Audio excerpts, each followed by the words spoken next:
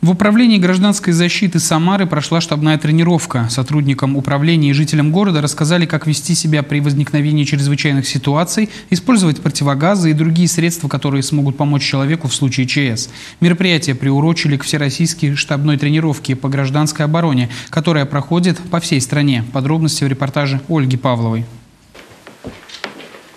Егоров Дмитрий Васильевич. Третий. Распишитесь, пожалуйста. Сотрудник службы управления гражданской защиты Дмитрий Егоров проходит процедуру регистрации, замера, затем расписывается в протоколе, получает противогаз и испытывает его на прочность.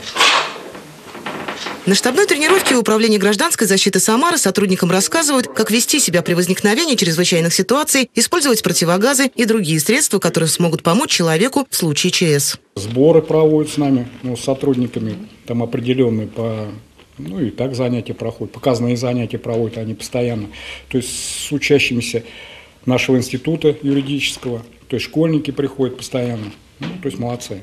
Учения приурочили к всероссийской штабной тренировке по гражданской обороне, которая проходит по всей стране совместно с органами исполнительной власти всех уровней. Проведение таких тренировок – стандартная мировая практика по подготовке органов управления и населения при различного рода чрезвычайных ситуациях. Этой задачей мы занимаемся постоянно, ежегодно обновляется приказ по пункту выдачи СИСа, и традиционно вот коллектив курсов является основными участниками данного пункта. В штабной тренировке принимают участие сотрудники поисково-спасательного отряда города в специальных автомобилях, на которых спасатели выезжают на вызовы средства первой необходимости, гидравлические инструменты, электростанция, пожарные костюмы, альпинистское снаряжение и даже бензопила. Одним словом, все, что может пригодиться в сложных и чрезвычайных ситуациях. Мы выезжаем на пожары для обеспечения мероприятий по эвакуации там, людей, помощи пожарным. Какие-то ДТП происходят у нас в городе, мы выезжаем, где-то бывает зажатые люди, то есть надо их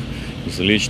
Люди падают в колодцы, люди как бы закрываются за дверьми больные там и так далее. Тоже все происходит. На это все реагируем. В ходе всероссийской штабной тренировки по гражданской обороне будут отработаны вопросы по проверке готовности органов управления и ликвидации ЧС природного и техногенного характера. Цель учений – проверка подготовки населения в области гражданской обороны, укомплектованность и готовность пунктов временного размещения, систем связи и слаженность действий всех специалистов. Ольга Павлова, Петр Поломеев. События.